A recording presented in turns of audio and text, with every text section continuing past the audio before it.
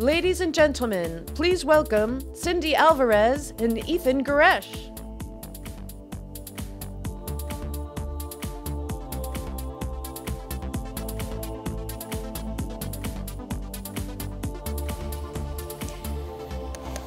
Hello, I'm Cindy Alvarez. I run the product design and user research teams at Yammer, which a little over a year ago was acquired by Microsoft.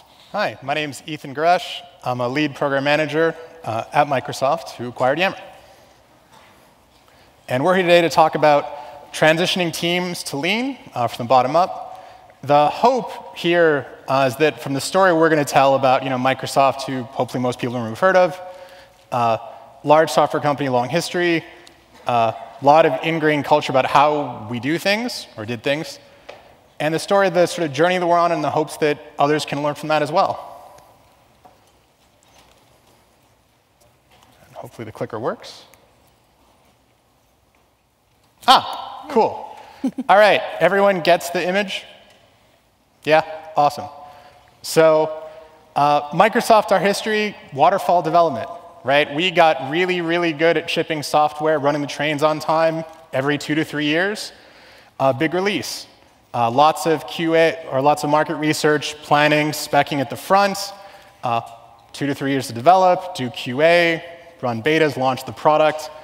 And this has worked really well. We don't do it or we didn't do it because we're stubborn and hate this approach. We did it because it worked. And the things to note about it, though, is that even though you could look at this model and say totally different, unapplicable to everything that you've learned in the last few days or before, the truth is we actually had a lot of the ideas uh, even running in this model. If you think about build, measure, learn, uh, it just so happens that build took two to three years. Measure was easy. Uh, we could measure revenue. You'd launch a product, you'd sell it. And learning, well, it took a while to actually apply. It's actually kind of the root of the old joke, for which I'm going to date myself a bit, of people used to joke, you know, don't buy a Microsoft product till version 3, that's when they get it right. That's actually sort of that manifestation of the build, measure, learn cycle. We'd build V1 because we had an idea. Uh, we'd, we'd launch it. We'd start to hear feedback about it while we were already starting V2. Uh, but by the time we got around to planning V3, we'd learned enough about V1, we could build something right. We had learned. And so that's really a lot of where that comes from. Of course, the problem is, if you think about the future, uh, and cartoon Steve Ballmer over here, we, think, we recognize the future is different, right? It's about devices and services, it's a really exciting new world that we're in. And we know that uh, we have to adapt or die. Uh, it's weird to talk about Microsoft dying, but we actually talk about it internally a lot. It scares the crap out of us. And so we realized that if you think about that V1 to V3 joke, that's five years in a three year cycle. Uh, within five years, Google Docs went from some adorable little toy to a real existential threat to one of our biggest businesses. So it's something we think a lot about, and it's sort of the root in some ways of this talk we're going to do today around how we want to evolve. So when Yammer was acquired, we heard Steve Ballmer talk about devices and services, and we were really excited because we were a startup, we were moving fast. We're like, great, you know, we're not going to get swallowed up by this big, slow-moving company. They're all on board. We've gotten this from the CEO on down, uh, guarantee that we're going to move faster. And what did we get? um, we got, instead of three year cycles, one year cycles that still had a lot of upfront planning and a lot of then developing and not a lot of learning on the way. On the other words, in other words, mini waterfalls. And that's what you get with a top down mandate. You get mini waterfalls because that's people doing what they've always done and what they've always known how to do. So, this was kind of our reaction to that. Great, uh, okay, well, at least it's, it's better than it has been in the past. Uh, so, uh, people have seen this before? Quick show of hands, you read XKCD? Awesome, good, I do too. I think it's hilarious. Uh, and the thing I actually want to show today, uh, other than we can laugh at ourselves, is uh, the overall structure, right? If you ignore the guns, we should talk about the historical role of the guns, what we're doing to get rid of them. That's its whole other talk.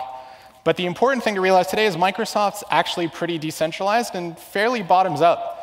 Uh, it turns out that we work in a lot of really decentralized teams to build products, build features, make decisions about what our goals are, what our metrics are, what we want to validate, what we want to learn, uh, what things we're going to build and not build.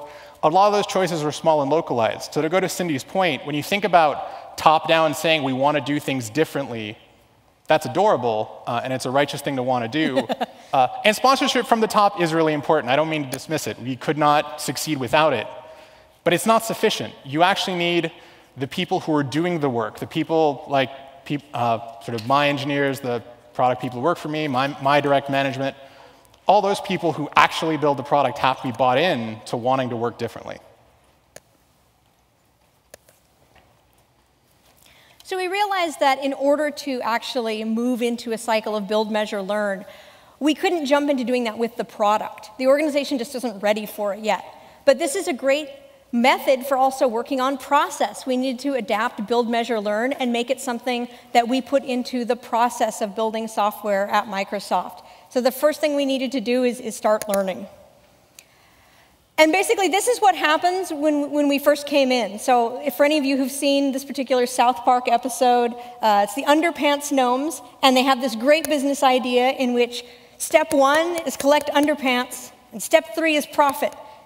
And they're, they're very unclear about what happens at step two. And this is actually what happened when, when Yammer folks came in and started talking about things like the lean startup and how we can move fast and how we can be innovative. Um, you know, we kind of held up the lean startup and we were very philosophical. And that worked great for the C level execs, by the way. They love the high level philosophy. But the people that Ethan was just talking about, their day to day jobs, they're like, okay, what's in the middle? And when we were light on details, this just sounded ridiculous. No one wanted to listen to us. And that was not a good place to start from. So the next thing we tried to do is, is to basically do the equivalent of a flash mob. We had a mini lean day. I, you know, something that I brought a bunch of people up, and we scheduled this a day in advance. And we're like, we had talks planned. We're going to talk about designing quickly with, you know, designing quickly. We're going to talk about developing quickly. We're going to talk about, uh, you know, MVPs. And this is not a culture where a spontaneous gathering really worked. So the, the Microsoft people are kind of like the, the guys walking along the side here, they're not really paying attention. So for every calendar invite that I sent out, I got back, you know, at least two people saying, well, I can't show up, I'm, I'm booked with meetings. It's a very meeting heavy culture. But what did happen when we did this is we had like 20 or 30 people who showed up, and when you have 20 or 30 people, you don't throw a conference, you just put up a circle of chairs and start talking. And we learned from that that we did have basically what we'd call an early evangelist population people who were so desperate and so eager to hear about this that they're willing to cancel some meetings and trek out to the buildings. Microsoft is like the size of a city, so actually showing up to a meeting across campus is a huge thing. Um, so we knew that there were people who were interested. We just needed to get the right approach. Unfortunately, uh, this is basically what Microsoft employees think of when you say minimum viable product. So, one of the first things we learned is that all the language that you have heard for the last two days did not fly there. When we talk about minimum viable product, people immediately panic. They say, We are building enterprise software. Our customers have a quality bar. Um, the GE folks were, were very similar. They're saying, you know, do you want a minimum viable MRI machine? Same thing with your enterprise software. And we realized pretty quickly that you can't just take the language that you're using and expect people to adapt to that. You have to meet people where they are today. And so that meant that one of the things we did is say, forget it, let's stop saying minimum viable product. So we actually had to go back, in a sense, to first principles and think about what did work, how do we reach these people? Uh, and we realized that it's important to actually start from where people are coming from, right? Even though uh, in Microsoft. Uh, number one, by the way, the words the lean startup, we didn't even use that much, uh, simply because we don't want to get into the, into the debate about what is a startup, the correct We're definition. not a startup. Yeah. We make more money than all these startups put together. Exactly. And so uh, there's some battles we didn't even want to fight uh, over terminology per se. Instead, the key was really about building bridges, uh, again, get it, of reaching out to the things people understood. And in our case, uh, the first big pivot that we did when we hit this wall around MVP and getting people involved was around uh, appealing to what people actually understood. Uh, so we went back to sort of scientific method. We talked about hypotheses. We talked about the ideas of you've always had hypotheses when you've planned something. You've always, we've always built towards a vision, and that vision, while we didn't call it as much, is a hypothesis. So wouldn't it be great if you could actually learn more about if you were right earlier? Uh, and that really subtle wording change, saying in effect the exact same thing to at least everyone in this room, had a huge impact. When we started doing that, people started uh, coming and talking to us. People started listening. They started asking really interesting, probing questions. They started asking for our help to get started. Suddenly, we're a lot smarter. Yeah, suddenly we're a lot smarter, more popular, better looking. Everything. It was really. amazing. And uh, that was one of the really important steps was around taking that pivot and around how we even thought about this whole process. And the other thing that we did uh, that was really interesting and valuable is recognizing in the Microsoft culture, uh, we're kind of averse to coaching. Uh, we do have a lot of groups that do coaching, and there's a lot of righteous work that they do around training and engineering excellence and those sort of things. And it's not that we're strictly opposed to it, but if you think about that uh, org chart with the guns I showed a minute ago, uh, again, the thing to take away from it, we are these sort of decentralized bubbles. And so, in order to actually affect change, you have to have someone helping spread the word that has credibility within that bubble, someone who's built software in the waterfall way before, uh, which is how I came into this mission, and who also sort of learned the new way uh, and can actually help articulate not just, hey, here's what you should do, but hey, here's what we've been doing in this new light. Uh, another example of something we did that was hugely valuable was talking about failed experiments. Uh, we didn't ever think at Microsoft that we built experiments at all, but the fact is that we did. And so, frankly, just having historical context and being able to talk to teams and say, hey, remember that thing we built together three years ago that seemed like an awesome idea on the day we started, but we kind of had our doubts the day we shipped, and we really had our doubts six months later when we got our first bug report, and it was really obvious the bug was so bad no one could possibly have been using the feature. This must be the first person to try it. Uh, everyone sort of at least had that feeling before of, uh, that's a shitty feeling. Uh, that's not what we seek to do when we build software.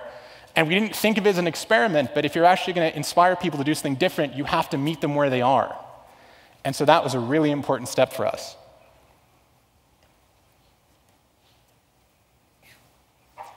So, some of the things that have worked um, changing language has worked hugely. Tag teaming between Ethan and I has worked hugely. He's based in Redmond full time. I'm in San Francisco and I go up about every six weeks. We exchange notes constantly on what we've done and how it has worked. So we are basically iterating constantly on how we talk. I tried this and it was very receptive, uh, and people were very receptive to it. We tried that and it didn't work so well. Um, we sought out people who were willing to talk to us and we asked for recommendations of other people.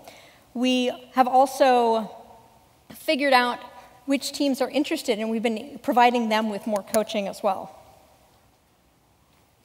Experimentation, as Ethan said, people like the scientific method at Microsoft, so we ran with that. Experimentation has been huge. We've been getting people thinking on the mindset of this is an experiment, you need to validate it even for teams where there has already been work in progress, so if those mini waterfalls where people are like, well, we're already shipping this feature, we're already building this feature, we had them retroactively go back and think about what were you trying to prove? What, is, what were you trying to validate here?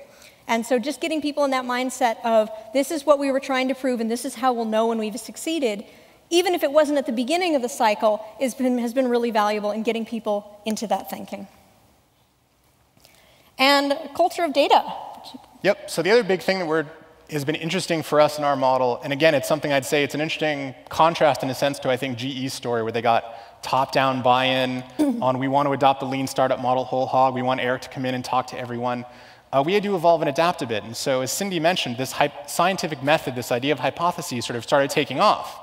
And so we said, great, let's run with that. Let's adapt the way we think about planning processes to at least start asking the questions like, what are your riskiest assumptions? How will you know if you're wrong? Right? Really great steps and things that everyone has already sort of started doing.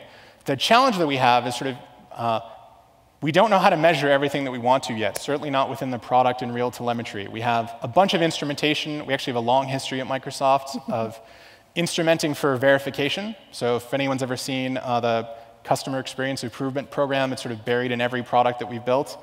Uh, it phones them when you have crashes. So we're used to collecting data, but not the right data, not the data you know, that we've seen, and you think about Moneyball and all the great analyses we do here and not vanity metrics, there's a ton of work we have to do.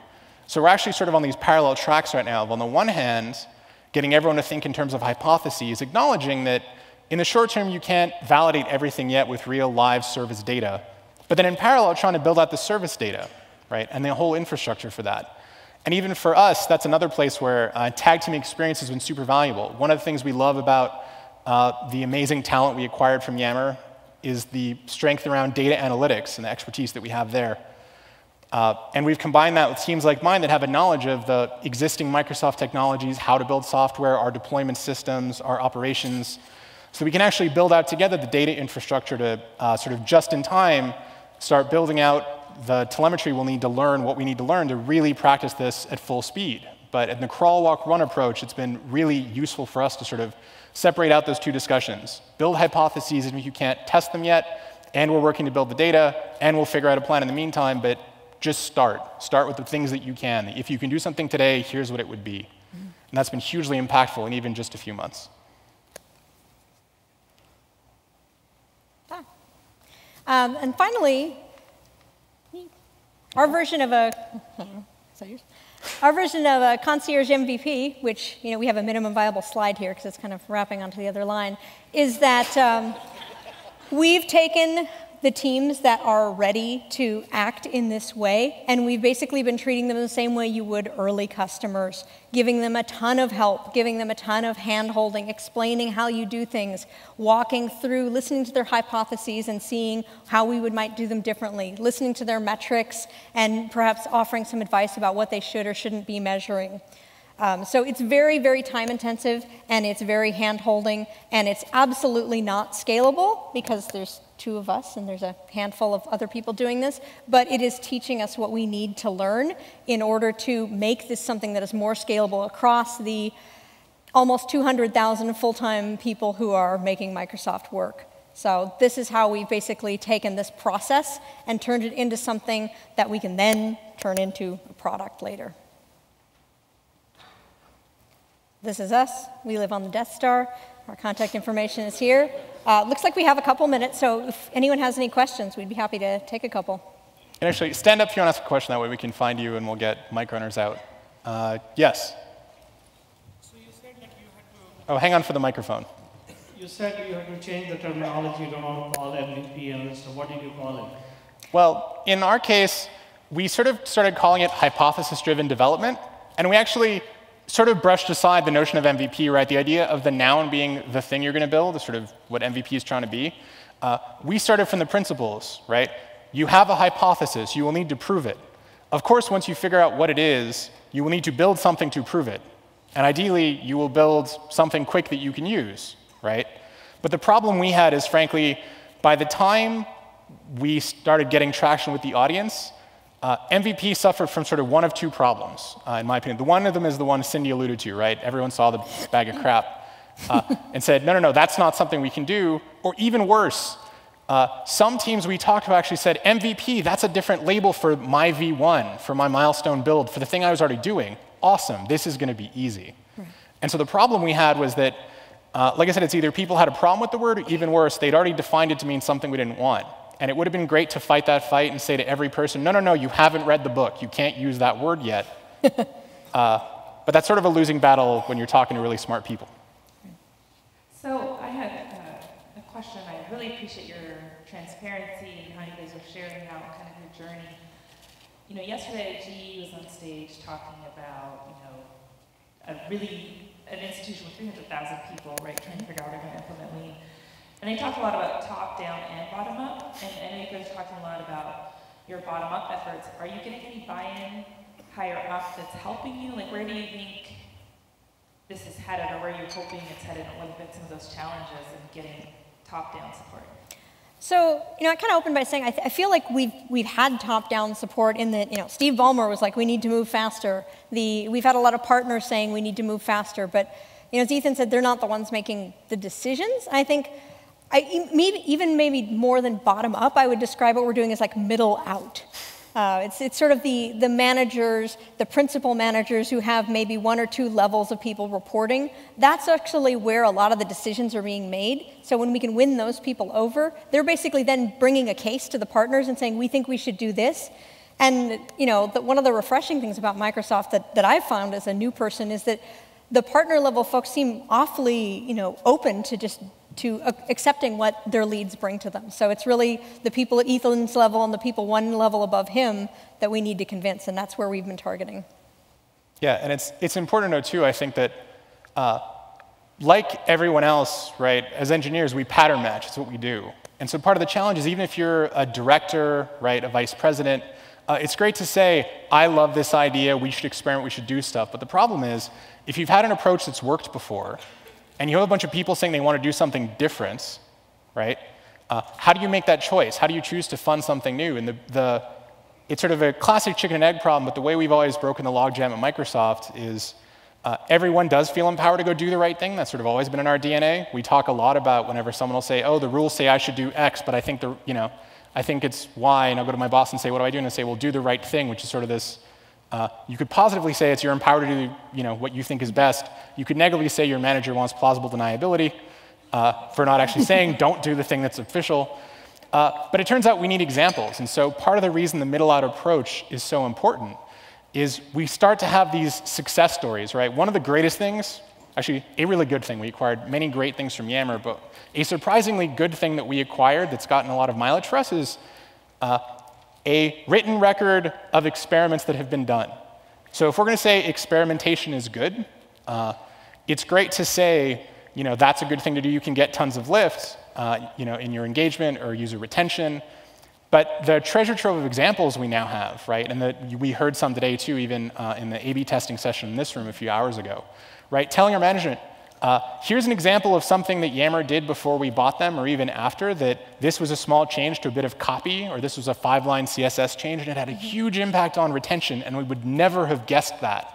Uh, those kinds of stories help, and it's why we go middle out and just try to, you have to build examples. It's something that I know Scott Berkun, uh, who's an author who I know his books are outside, uh, talks about is, you know, the way to influence change is sort of find the thing you can control, demonstrate success there, and then you get to expand. And that's really how our culture's always been. So finding a few teams, getting a few wins, uh, is the thing that empowers management at the top, not just to say, yes, that's what I want, but you need to let them say, this is what I want more of right. by showing them what it is.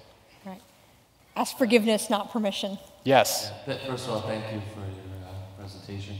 Um, just curious, uh, the time frame, at least to get that first win, and to get that first buy-in, and then subsequent time frames to sort of exponentially get more and more buy-in as you go along, expanding on that. So I think, as Ethan said, at Yammer, we release twice a week. We're constantly running experiments. I'd say we probably get an experiment result back every two to three weeks. So we had a kind of a, steady cadence of that from the beginning. So we've had a lot of these kind of use cases. I'd say, long do you think it took us to get like a some team at Microsoft changing huh. their minds based on that? that's an interesting one. I guess it depends who you ask. I'd say uh, my team, which was probably the first one to change, uh, and for reference for all the people I work with watching uh, at home and on the simulcast, not entirely my decision, a bunch of people involved. But uh, we started off, I'd say a few months after we acquired Yammer, we started to work together. My team and my management sort of had this epiphany of uh, if we want to start learning how to work in this way and learning what's good about it, we have to kind of go whole hog. And we sort of uh, switched to a functional model of staffing. We sort of cross-functionally assigned people across projects. We built a bunch of evangelists like myself just by sort of throwing them into the lion's den down here in San Francisco, so to speak. Uh, and I'd say, you know, we had that epiphany of that was the way to sort of think about integrating the acquisition probably three-ish months after we got started. Uh, it took us probably another three to six months to actually sort of start getting some wins. I started to grok the model, and I learned that MVP wasn't just the thing that the product people at San Francisco said to get me shut up, but here's what it really means. uh, and, and, there was a bit of both. But a little bit uh, Drew, if you're watching, we miss you. Uh, but uh, the challenge was, you know, first getting a little bit of those wins, and then frankly, it was sort of this, this uh, sort of bowling alley effect, right, like that one slide showed. And I think it was sort of probably six months after that, I, we had the first epiphany. After tons of evangelizing, we had a team come back to us and say, hey, we actually want to plan our strategy in this way. Uh, can you spend a day and help us? And that was in October, so probably eight or nine months after. We had the first real, someone who hadn't sort of committed to take a leap actually decided it might be a good thing to do. So it's been probably, I'd say, 12 months-ish in total to get to this point. Uh, and of course, we have a ton more to do. Uh, but it's tricky, and it's actually, it's gone, honestly, probably faster than I thought, simply because, again, it's not people being stubborn or saying change must be hard. It's that uh, we are thankfully not yet at the point where Microsoft is flaming out. Uh, we're at the point where a lot of metrics look really, really good, and you have to really be willing to look to the future to see that we're going to run out of runway. So I'd say within a year, the fact that we've gotten a bunch of teams to actually come around and get started, uh, I'm really excited about it. That's pretty good. 30 years of doing stuff one way, and one year to make pretty good headway towards doing stuff a totally different way. So I think that's pretty good. Yeah. I think we're actually out of time. I think, so we, I think we're in Q&A time, actually, right? we're, Someone, sorry, someone from AV, something really bad would happen if we were really running over, right? we'll take we'll take one last. Yeah. Uh, thank you. Uh, thank you for your presentation. I mean, your comment about 30 years doing it one way and one year doing it differently reminds me, unfortunately, of Kodak. Uh, because people in Kodak said, look what we've done, why do we need to change, and look where Kodak is. Apart from Steve Ballmer saying we need to change things differently and sending out an email to everyone on what we did, um, isn't there some sense of urgency? I mean, I'd be interested if you look around this room, how many people are connected to the internet as we speak on non-Microsoft devices? And so, you know, there must be some sort of sense of urgency around the need for change or, you know, here comes Kodak. Mm-hmm. Yeah, I mean, I think that's, as an ex, from an external perspective, I think that's one of the that's one of the other joys that Yammer has brought is we all came in with our Macs and our iPhones and we're like, guess what? This is what everyone around us uses. Um, but I am seeing some of that. We're seeing definitely there's a lot of recognition that people are using Google Apps, that that's a viable thing, that people n- haven't just chosen their iPhones, but they love their iPhones. So I think there's definitely there's definitely some apologists who are all pro Microsoft all the way, but I think they're in they're definitely in the minority. That's been my experience. Yeah, I'd actually say, for reference, Microsoft, uh, probably ever since the iPhone, before that we could debate it, but frankly, ever since the iPhone, uh, we as a company have sort of recognized that sort of our hubris could kill us, right? There was a period of time where uh, our ability to sell to enterprises was sort of this durable asset that no one can top. Most people at Microsoft are frankly over it, and in fact, when I talk about people getting used to this notion of working sort of, you know, in a lean way, working iteratively, uh, there's different groups in Microsoft who'd say we've actually gotten it for a while. If you look at, for example, Bing on the search side, right, and the gains they've made and the iteration they do, there's a ton there. So, yeah, uh, yeah I'd say we at Microsoft spend a lot of time worrying about not becoming Kodak or any other failure story you might describe. Uh, and it's part of why we're here, and it's part of doing it there. And the, there's a healthy debate, uh, frankly, in Microsoft and elsewhere about, uh, you know, are we already there? Is it too late? Uh, I caution anyone who tries to count us out. Uh, we've been in that spot before. But yeah, it's a reality we have to adapt to. And it's, I think, part of the reason that we've had such success changing is people recognize things need to change. This isn't just about a better way of doing things, it's about we're in a lot of trouble if we don't adapt. Yeah. Absolutely. All right, we'd love to keep taking, but we got to get off the stage and let other people on. Uh, we'll be around if you see us. We're happy to answer questions, or you can find us online and ask us more. Thank you so much.